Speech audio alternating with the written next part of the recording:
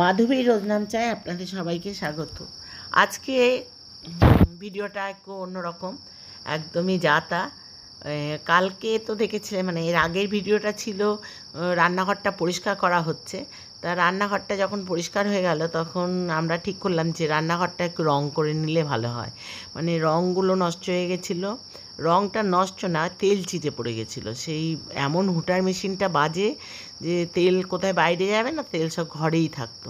তারপর সেটাকে পরিষ্কার করে হুটার মেশিনটাকে খোলা হলো। আর আমি হচ্ছে হুটার মেশিন আর লাগাতে হবে না, আগে যেমন ছিলাম সেরকম থাকব।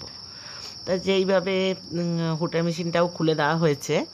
এখন ওইখানের রান্নাঘরটা এখন ফাঁকা করে আমরা এই ঘরের ভিতরে এই সিঁড়ির এই জায়গাটায় গ্যাসটা নিয়ে আসা হয়েছে তা বৌমা বলছে যে এখানে নাকি রান্না করতে খুব মজা লাগছে। আসলে এখানটা খোলামেলা জায়গাটা। তো এখানে এক দুদিন চলবে, কিন্তু প্রতিদিন রান্না করলে তো আবার এই জায়গাটা আবার তেল চিটে হয়ে যাবে। সেই জন্য এখানে রান্না করছে এখন।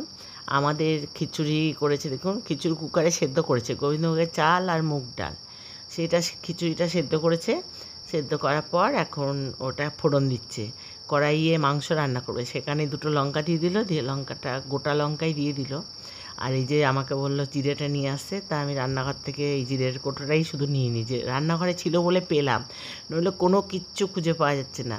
তা ওইগুলো নিয়ে এসে জিরে দিলাম জিরেটা, জিরে কোটোটা, জিরেটা নিয়ে ও এখন ফোড়ন দেবে। দেখুন কীভাবে ফোড়ন দিচ্ছে। ওই গরম তেলের মধ্যে জিরেটা ভাজা করে এবারে ইয়েটার সাহায্যে একটু নিয়ে এইটার মধ্যে। কেন মেয়েও খাবে। এই খিচুড়িটা হচ্ছে গোবিন্দভোগ চালের খিচুড়ি আর মুগ ডাল দিয়ে সেদ্ধ করে দিয়েছে আর কিচ্ছু না। ওইটা শুধু একটু ফোড়ন দিয়ে আমি আর আমার নাতনি খাব। এখন নাতনিকে দেবে না, আমি এখন খাব, নাতনিকে একটু পরে দেবে। ও রান্না করছে। এখানে রান্না করতে ভালোই লাগছে কাছে মানে এক নম্বর হচ্ছে যে আলো বাতাসটা প্রচুর পরিমাণে আছে চারিদিক দিয়ে। তা ফ্যান অফ করেই কিন্তু কাজ করতে হচ্ছে। আর দেখলাম যে ঘরে অনেক ঝামেলা। তা ও বলল যে, মা তুমি একটু মাংস আনো। তা মাংস আনালাম। আমাদের মাংস আনতে হয় না, বাড়িতে দিয়েই যায়। হ্যাঁ সেই বিল্লির চিকেন বিল্লির চিকেন মানে এটা বিল্লি হচ্ছে নাম যে মাংস দেয় তার। তা সে দিয়ে যায় খুব পরিষ্কার পরিচ্ছন্ন আর ভালো মাংস একদম। তা ওইটা নিয়ে এসে এখন রান্না করছে। তা দু তিনবার রান্না মানে মাখতে গিয়ে ও মাটিতে ফেলেছে তা বললাম, আমি খাব না তাই আবার থালাটা নিয়ে এখন ওটা মাখছে। হ্যাঁ খিচুড়িতে একটু ঘিও দিয়ে দিল। এটা মায়াপুরের ঘি। হ্যাঁ মায়াপুরের খাঁটি গাওয়া ঘি। বিক্রি হয়। ওখান থেকে ওর মা নিয়ে এসেছিল, তাই দিয়েছে। সেই ঘিটাও দিয়ে দিল। খুবই ভালো লাগছিল খেতে। আমরা এখন খিচুড়ি খাব। আমাদের তিনজনের তিন চারজনের চার রকম খাবার। এই যে নাতনি বলল, খিচুড়ি খাব না। ওকে দুধ চকস দেওয়া হলো। ও দুধ চকস খাচ্ছে। আমি খাব খিচুড়ি। আর বৌমা খাবে ওই যে ওটস, তারপরে চিয়া কলা, আঙুর, ফল দিয়ে। এটা, ওর খাবার হচ্ছে ওইটাও। খুব ওটা খেতে ভালোবাসে আর আমার নাতনি একদম স্বাবলম্বী, ও নিজেই সমস্ত কিছু করে খাবে। ওই দেখুন, ওকে আমি দুধটা শুধু দিয়েছি আর চকসটা ছিঁড়ে দিয়েছি চকসটা নিজে ঢালবে। এবার জেন্টসের একটা ছোট প্যাকেট, ও দাঁত দিয়ে ছিঁড়তে পারছে না, আমাকে তারপর ছিঁড়ে দিতে হলো। এবার আমি ছিঁড়ে দেওয়ার পর ওই জেমসটা ওর মধ্যে দিয়েছে, ওই দুধের মধ্যে দিয়ে। বলছে, দেখো দেখো, কি ভালো খাবার তৈরি করে ও খাবারটা তৈরি করছে জেমস আর চকস একসাথে মিশিয়ে ও খাচ্ছে। তা যাই হোক, ওর যেভাবে খায়, খাক, ওর পেটে দুধটা গেলেই হলো। আর তারপর আমাদের রান্না বান্না হবে। সকালে প্রতিদিনের খাবার হচ্ছে খিচুড়ি আর নইলে সেদ্ধ ভাত। মানে গোবিন্দভোগের চাল ওই কুকারে একটু সিটি দিয়ে দেয়, আলু দিয়ে।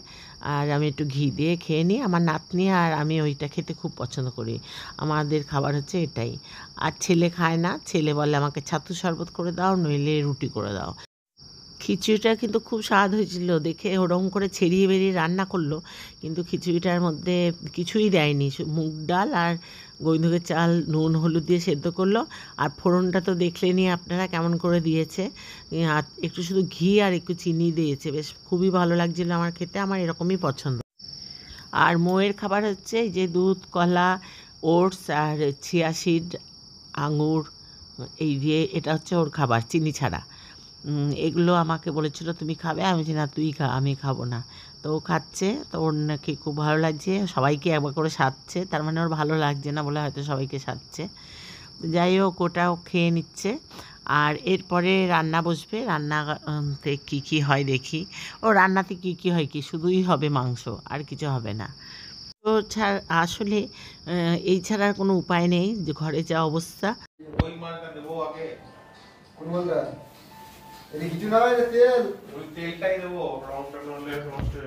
বুয়া হলুদ রং করবি?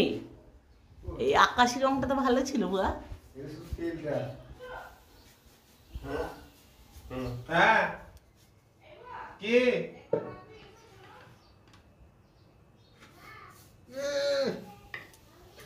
কি হলো?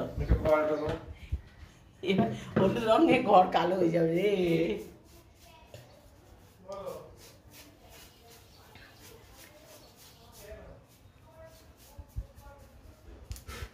তুই উপুরটা কর।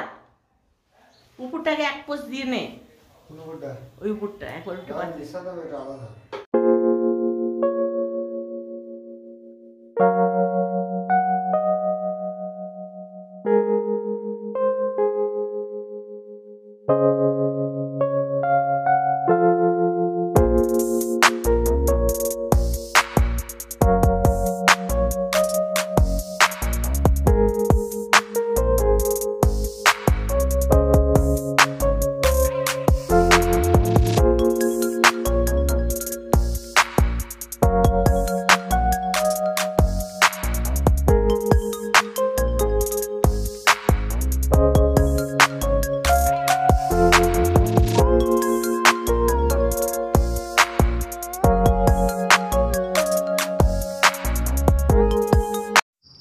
আমি বলেছিলাম শুধু মাংস হবে, কিন্তু বৌমা দেখছি কচুরলতি একটা ছিল, সেটা আমি কেটে রেখেছিলাম কালকে। কালকে রাতেই আমি ওটা কেটে পরিষ্কার করে রেখে দিয়েছিলাম।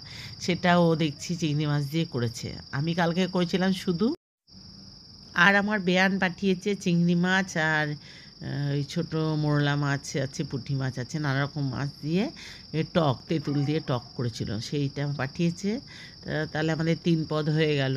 মাংস কচুরলতি আর টক, মাছের টক। তা এদিকে আমার ছেলে ওকে দেখিয়ে দিল কীভাবে রং করবে। তা এখন রং, সুমন রংটা করছে। তা রংটা করতে থাকুক। আর এদিকে আমরা সব খেয়ে নিই। আর এই যে ওই দেখছেন? এটা এই যে হুটার মেশিনের যে ইয়েটা ছিল এখন দেখতে পাচ্ছি ওখানে পাখির বাসার মতো অনেক খড় কুটো দিয়ে ভর্তি ছিল। সেটা ফেলে দেওয়া হলো পাশ দিয়ে। তা যদিও ওর মধ্যে মেয়েদের নখরাবাজি সহ্য করার থেকে দিদির কাছে থাকাই ভালো। সেই সেই। কিসে রং করেছে? চোখে রং পড়বে তোমার মুখে রং পড়বে সরো। কোথায় রং করেছিস? এ সুমন আজকেই ওটা ডবল কোটটা মেরে দিবি বুঝলি? না না কালকে আবার কি রান্নাঘর বন্ধ হ্যাঁ? তো চালিয়ে দিবি। রান্নাঘরটা কতবার ইয়ে থাকবে?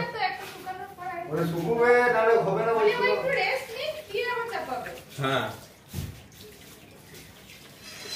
কি করছি রং করে রং আবার ঝাড় দিতে হয় নাকি? ও এখানটা ঝাড় দিচ্ছে